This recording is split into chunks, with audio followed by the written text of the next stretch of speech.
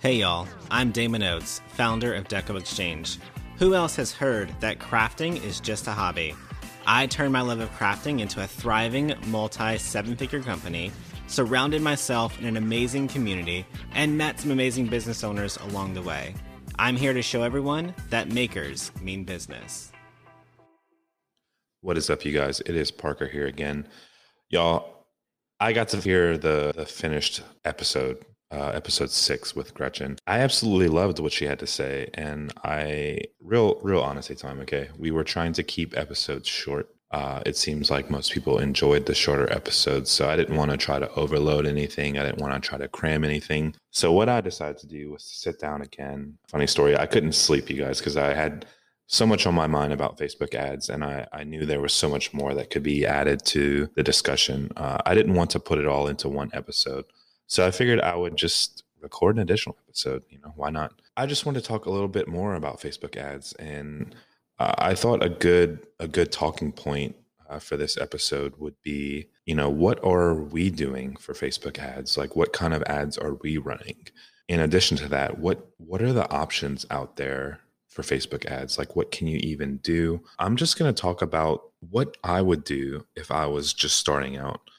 So we we touched on it a little bit when I spoke with Gretchen and you know free free is good you guys. Facebook lives are great. Live video in general is great. Video is great. Pictures are great.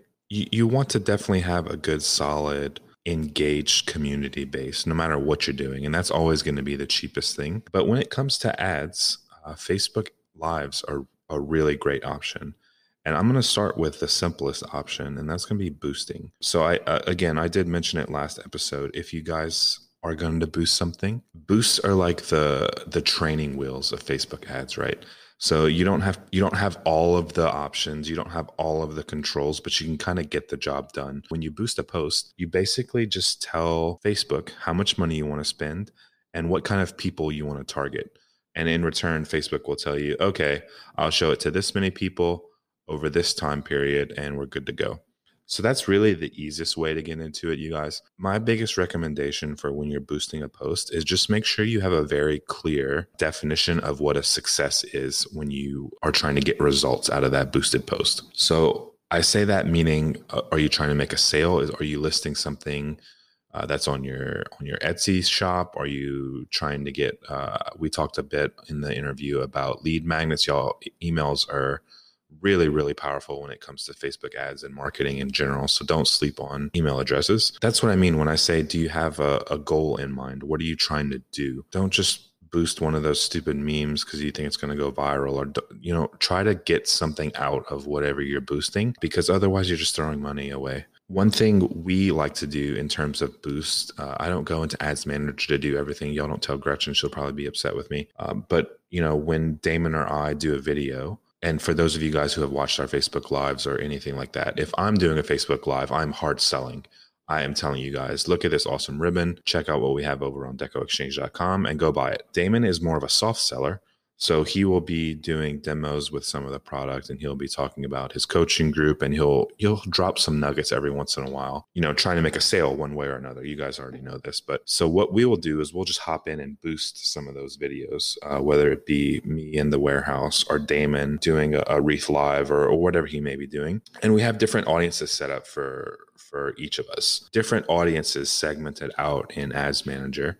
So I know if I'm selling ribbon, I can target those people. I can make a lookalike audience and I can target similar people, people who visited our Shopify store, people who have interacted on our previous lives for selling supplies. So there's a whole gambit of different audiences that we have. And that is the quick and easy way to get some paid content, paid sponsored content out on Facebook is just doing a boost. So when I'm saying boost, that's that's the easy way, you guys. For those of you guys just starting out, that is my recommendation for you is maybe just try boosting a few posts but don't do it like i said don't do it willy-nilly. Make sure that you have some sort of clear goal in mind. So an example of a great post to boost would be one of your etsy listings you know post about this great wreath that you made and how lovely it is and how you need something on your door for fall or or whatever it may be. And then you can boost that. And then if you make a sale you'll know because facebook will be able to tell you that information and all the insights of the post. And then the next thing I want to talk about, you guys, is I want to talk about the different ads that we actually run. And I'm not going to go into all the details of every single one, but just to give you guys an idea of, of the kind of stuff that we're doing. So, whenever I was interviewing Gretchen, I mentioned that we have a, a free tutorial. Uh, it's a Valentine's Day wreath. And the only thing that we want from that post is we want people to click on it and we want people to give us their email address to get the free tutorial. That's the only thing that we're doing. And y'all, we've had thousands and thousands of people click on that video and give us their email address. So there's a whole slew of things that we could do with their email addresses, right? Not only can we retarget them because our Facebook pixel is on that page that they visited, but we can also use their email addresses for Facebook ads. So you can actually send those emails into Facebook, upload them into Facebook, and Facebook will find those people on Facebook and show whatever content you want to show them. You can actually get down into that level of detail. Another thing we can do with those email addresses is create what's called a lookalike audience. So it's going to basically find similar people who have similar interests, who do similar things as the people who have those email addresses. So it's a really nice way to find even more people without having to spend more money and find more leads. You can just tell Facebook to go do it for you and they'll take care of it. So that's one of the the biggest obvious things that we do for Facebook ads is we promote that free tutorial and we use it as a, a, lead magnet to grow our email list and to get more people engaged on our page. Another thing that we do, and I'm sure you guys have seen this before, is we run ads for our supplies. So for those of you guys that don't know, we we sell supplies uh, listed on decoexchange.com. We sell you know wreath wreath making supplies, ribbon, mesh, all that stuff. But that's not an ad for for selling supplies, you guys. Uh, we just use Facebook ads as a way to get our products in front of more people. So maybe it's people in our existing community, uh, because as you guys know, the way the, the Facebook algorithm works is not every single person that's on your page is going to see your content every single time. So what we usually do is I'll do a video uh, showing off new supplies, and then we'll put some ad spend behind it, and we'll just target people that are already on our page, or I'll target people that have already shopped with us before, or I'll target people who have visited our website before. So those are those people are warm. Those people know us. They've probably shopped with us before. So it's a really easy sell. And the nice thing about that is they're cheap. It's cheap to show your stuff to people who already know you, and it's cheap to sell to people who already have bought from you. It's basically a numbers game, right? So that you don't have to show them the same thing over and over. You don't have to pitch to them five different ways they already know that you have good stuff and they want it. So the only thing we spend ad money on for that is just getting it in front of people uh, who already have been with us or have already shopped with us before. One of the last ideas that we have in terms of Facebook ads is we target new people. The lead magnet brings in new people. The retargeting brings in old people who have already bought with us before and then we have just some general like brand awareness. So that's probably the best way to describe it is just so people start to see our face, people start to know who we are. So the first one just gives people a freebie. The second one targets our people who already know, like, and trust us. And then the last one is just brand new people all together, just so they know who we are. Damon's like pointing thing is iconic. You guys know what I'm talking about. If you've ever seen, he's like always pointing at it and making his funny face. Uh, I'm always showing off supplies. So we use some of those, um, like those staple personalities in our business to get our faces and our brand in front of people who don't know us. So that's kind of the third way I would say that we use Facebook ads. So I hope that kind of give you guys an idea of what we're doing with Facebook ads obviously there's a, a whole range of different options you can kind of go with. Like i was saying earlier i felt like the the whole episode was great. I just thought there was a whole lot more content. Gretchen and i talked a little bit about um, you know budget and how to get started and all of that. So i would honestly you guys the biggest thing is i would just say start with a, an amount you're comfortable with just like what gretchen was saying. And uh, just have a very clear goal and have a very clear idea of what what you're trying to get out of something. I challenge you guys to give it a shot. Um, I know ads can be scary, spending money can be very scary. I'm not saying go out and spend you know thousands and thousands of dollars, but if you're if you're selling a physical product, if you're selling a digital product, y'all, if you're if you're selling anything, uh, just try boosting it. Try targeting your ideal customer and just you know maybe spend a dollar a day for five days or something like that just to see how it works. Um, i could sit here all day and explain how ads works and you have to click here and click there but until you actually start getting into it and trying it out it's not going to be the same. You'll learn a whole lot more. Uh, i don't want to say it's trial by fire but you know once you're into it and looking back in the back end of everything it starts all to make sense. As i'm kind of closing out here you guys i just want to bring up three maybe quick wins or maybe quick action items that you guys can do. Uh, and they're not directly Facebook ad related, but they all are in that same kind of ecosystem. So the the three things I can say is make sure that you have a way to collect an email address.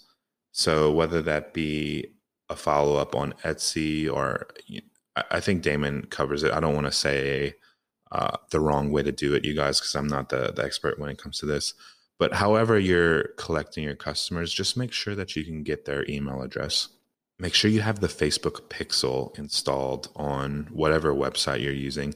Y'all, if you use a third party website uh, like Etsy, um, Amazon, whatever, you can't have your own pixel installed on that. But if you have your own website, your own Wix website, your own blog, whatever it is, you can absolutely um, have your pixel installed. And I highly, highly recommend that you do that. And then the last thing is start looking at the data, you guys. You can, between the email addresses and the pixel data, you can combine that all into the back end of Facebook and you can start looking at your customer information and you can start getting some real deep insights on how old they are, what time they visit your site, what kind of interests they have. And you might be surprised when you start looking at this information. I can't tell you how important it is in the long game to have all of this information. It takes some time, it takes some practice, and it takes a whole lot of uh, patience to go through all of that and try to understand what's going on. But the good thing is you can't do that wrong, right? As long as you're collecting the data, you can you can figure it out eventually. But the other two things, getting a way to get customer emails and putting your pixel on the website are two things that you can do very, very easily. And it's some quick wins to make sure that you're set up in the future for whenever you're ready to start doing ads. Maybe it's not now that you have um, you have some firing power. You know, if you can upload a few hundred emails into Facebook, you're off to a great start when it comes to making audiences in Facebook ads, lookalike audiences. That is, you can do custom audiences without email addresses uh, but the more information that you provide to Facebook, the better that it can serve you. And then as far as the pixel goes, you guys, I can I could talk for days and days about how important a pixel is. Uh, for those of you guys that don't know, the pixel lets Facebook know when someone is on your website or clicking add to cart or viewing a product or taking any kind of action on your website. And it makes it super duper easy uh, to run ads back to those people to retarget those people who maybe they added something to cart and they didn't check out. Or even if you if you're just a blogger and you're trying to get more traffic to your website you can retarget those people who visited last month but haven't been back. I know those two things that i mentioned aren't directly related to facebook ads uh, when you look at them at face value but once you start putting all the pieces of the puzzle together having a good email list and putting your pixel on your website is a great place to start. Uh, even before you're running ads, even if you don't plan on doing that anytime soon. Hopefully that that added some sort of uh, actionable items for you guys. Maybe make a light bulb go off. Hopefully that's like my biggest my biggest dream, my biggest goal. You're right. I was talking about how you should always have a goal when you're running Facebook ads, and my goal for this podcast episode was to make someone's light bulb go off. Right. So I'm I'm hoping that that did that for someone, you guys. Uh, if you guys enjoy this episode, make sure to head over to makersmeanbusiness.com.